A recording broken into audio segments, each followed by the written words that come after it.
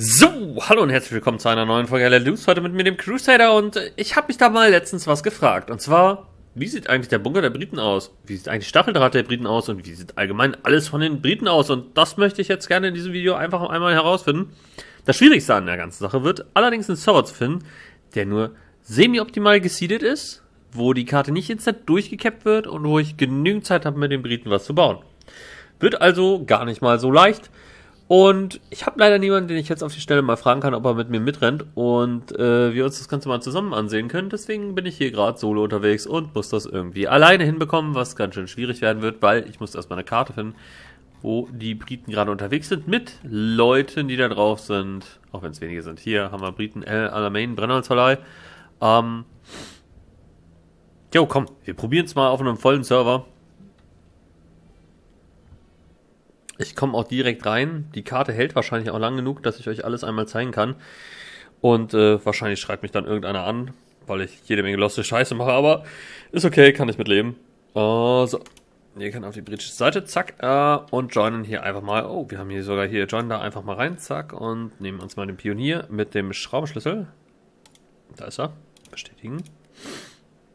Supply Truck steht auch hin. Ist ja, als ob das Spiel möchte, dass ich einfach mal eine Runde hier als Brite irgendwas anfange aufzubauen. Wir bauen natürlich die äh, ganze loste Scheiße, die man da so basteln kann. Ähm, mithilfe eines LKWs. Wo ist er? Wo ist der denn? Ping. Da.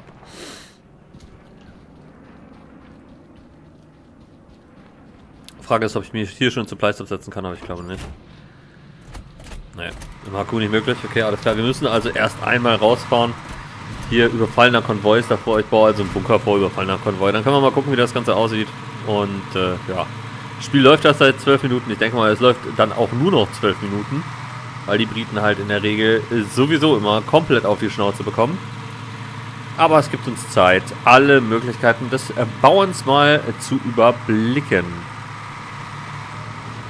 Vorausgesetzt steht ja nicht gleich irgendwo ein Panzer, der mich wegfarmt. Hier schon droppen? Ne, hier kann ich noch nicht droppen. Hier auch noch nicht. Ich würde es gerne tatsächlich hier oben auf dem Berg bauen. Dann kann ich nämlich damit argumentieren, dass der Bunker doch äh, irgendeinen Zweck hätte. Da höre ich schon einen Panzer schießen. Das äh, macht mir jetzt schon Angst.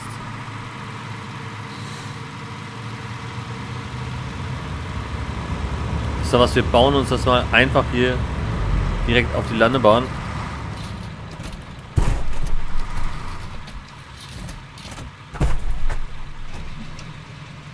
So, dann schnappen wir uns mal den Schraubenschlüssel und gucken mal, was man hier so basteln kann. Oh, der Bunker, der sieht extrem interessant aus. Den bauen wir doch mal als erstes. Junge, ist, der ist aus Metall und der, der sieht echt ganz cool aus.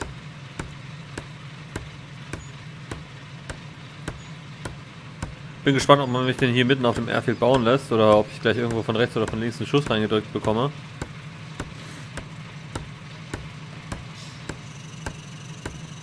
Dass da wohl eine offene Schießscharte ist. Ich bin echt gespannt, was das hier wird. Oh, gleich haben wir die Stufe 1 des Britenbunkers. Ah nein, ist leider geschlossen, aber er sieht ganz geil aus. Wir nehmen mal hier die Stufe 2, mal gucken, wie die aussieht. Ich denke mal, da dürfte dann noch ein bisschen Holz dran sein. Ist aber echt geil, dass die sich da haben was Individuelles einfallen lassen für den britischen Bunker. Können wir auch nochmal gleich so eine Perspektive von vorne aufnehmen. Aber ich werde gleich nochmal ein paar neue Supplies brauchen, weil der Bunker braucht mit am meisten Supplies.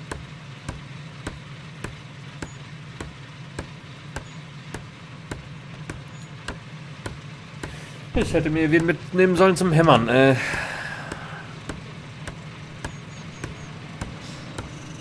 Yeah, bitte nicht für mich der Tiefflieger. Okay, der hat jetzt so Sandsäcke. Cool, jetzt fehlen mir 50 Supplies. Die holen wir nochmal schnell aus dem HQ.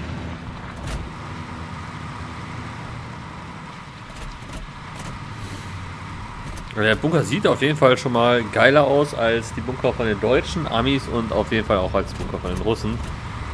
Die zusammengeklopften Holzstapel.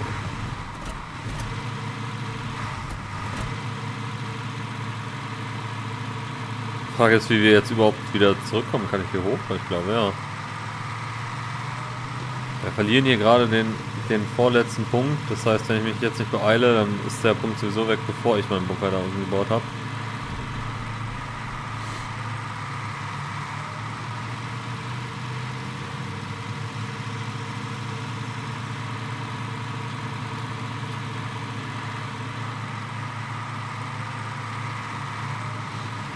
Komm, lass mich ein paar Supplies holen, bitte. Ich will es schaffen, den Bunker aufzubauen. Auf Stufe 3, das ist die maximale Stufe, dann sehe ich das erste Mal in meinem Leben einen britischen Bunker.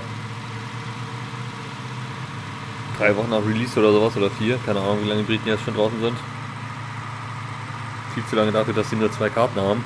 Die Russen haben ja jetzt wenigstens noch Charkov gekriegt. Kursk, Stalingrad, Charkov, bei denen haben wir drei. Die Rap-Station der Briten kann man hier schon sehen. Ja, den britisch hingepackt. So, jetzt geht's wieder ab nach vorne. Flugplatz wurde nochmal gesaved, ist gut. Mehr Zeit für unseren Bunker.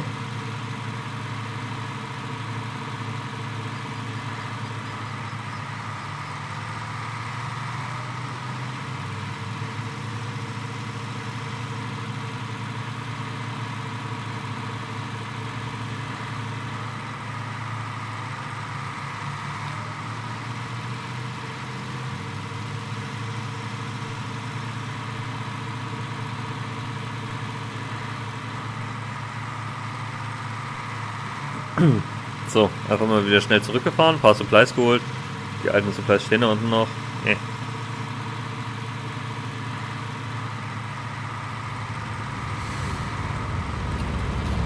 So, bienvenue. Mein erster britischer Bunker gleich ready. Oh ja, letzte Stufe, ey, das dauert jetzt richtig lang.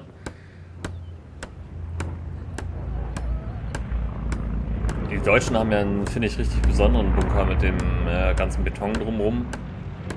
Bei den Amis sind es nur so ein Haufen Sandsäcke, das sieht jetzt nicht besonders cool aus. Bei den Russen die Holzflöcke, das ist auch sehr individuell und finde ich eigentlich auch ganz cool. Vom Aussehen jetzt her. Außerdem haben die noch mal so einen extra Eingang, so einen seitlichen, die Russen. Das ist eigentlich wirklich nicht schlecht. Und die Briten sehen wir gleich, was der Stufe 3 Bunker so bringt.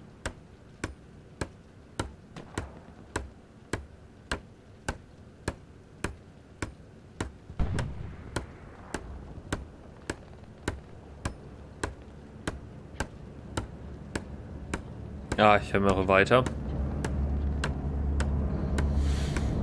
Und weiter und immer weiter. Und rechts von mir hat einer geschossen. So, britischer Bunker steht. Das ist sogar ein Gegner. Ja, den erschießen wir jetzt erstmal aus dem britischen Bunker. So. Was auch immer hier vorne ein Gegner macht. Aber ich muss sagen, der ist geil. Aus Metall. Erinnert ein bisschen so von der Form her an den deutschen Bunker. Ähm. Oh, was ist das denn? Da ist ja eine Kanone oben drauf. Kranker Scheiß, ey. Okay, ey. Aber der britische Bunker, ähm, der ist extrem interessant, Leute. Hä, kann ich da einsteigen oder was? Da kann man doch nicht einsteigen, oder? Kann ich da einsteigen? Oh, jetzt hast du mich hier gesprengt. Wahrscheinlich, weil der Panzer denkt, dass ich ein Panzer bin. Geil. Da ist eine Kanone auf dem britischen Bunker oben drauf. Ey, das habe ich ja noch nie gesehen, so ein Teil. Das ist mal ein hartes Ding tatsächlich.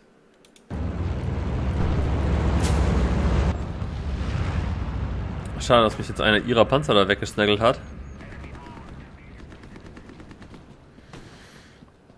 Aber wer weiß von wo der geschossen hat. Junge, sieht das geil aus hier. Auch außer Jo, der hat mein, meine Supplies erstmal kaputt geschossen, der Panzer. Noob Tank. Aber seht euch diesen Bunker an, Mann. Schon cool. Ja, auch wahrscheinlich der einzige Spieler, der jemals einen Kill aus dem britischen Bunker gemacht hat.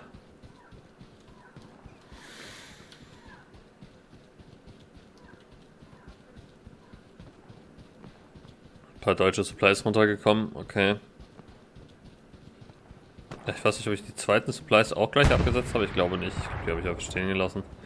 Egal, ähm, ich wollte mir nochmal angucken, wie hier anderes Objective aussieht. Äh, der Stacheldraht sieht aus wie ein Kammern-Stacheldraht. Amerikanische Stilbarrieren, okay. Die Repair Station, okay. Das hier ist das. Das hier ist das Treibstoff-Ding. Äh, ein Zelt für die Manpower. Und, oh, wieder eine echt hübsche Rampe bei den Ressourcen hier. Ja, also ein Stacheldraht hätte ich gerne noch, den würde ich mir gerne auch mal ansehen.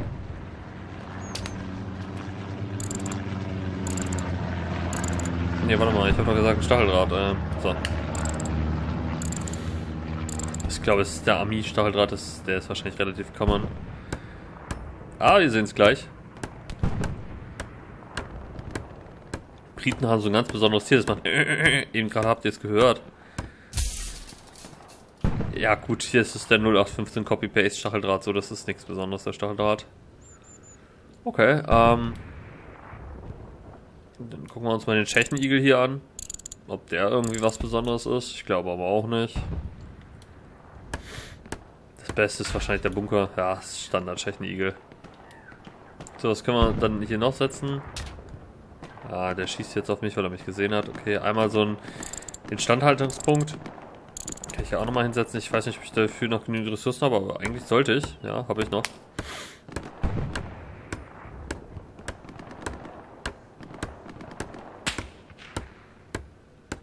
So kann man sich in die Kanone da reinsetzen. Das wollte ich mir nochmal kurz angucken. Ja, nett. Ist okay. Ach, ich glaube nicht, dass man sich da... Oh, hier ist sogar eine Lu F-Bunker zerlegen. Ne, okay. Da ist sogar eine Luke für den Turm oben, ne? Also der Bunker ist schon geil. Ich wüsste mal gerne, was man da als Vorlage genutzt hat.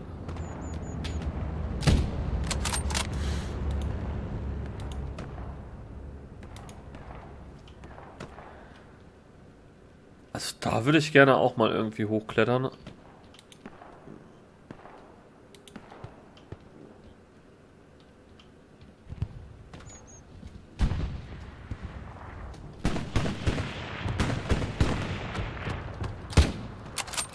ist auf jeden Fall eine Hardcover hier.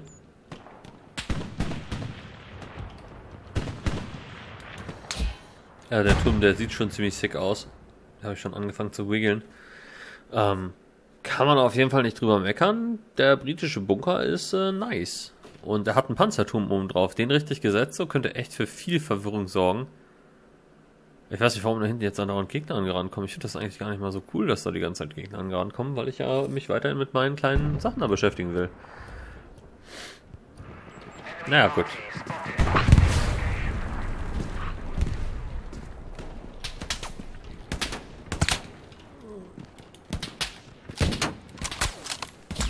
Ja, jetzt hat er mich. Okay. Na gut, aber ich hoffe, euch gefällt dieser kleine Einblick in den britischen Bunkerbau. Ich will die Folge jetzt hier gar nicht zu lang werden lassen. Ich wollte euch einfach nur einmal kurz zeigen, wie der Bunker aussieht. Und äh, wünsche euch noch viel Spaß damit. Wir sehen uns beim nächsten Mal. Bis dann, macht's gut. Tschüss.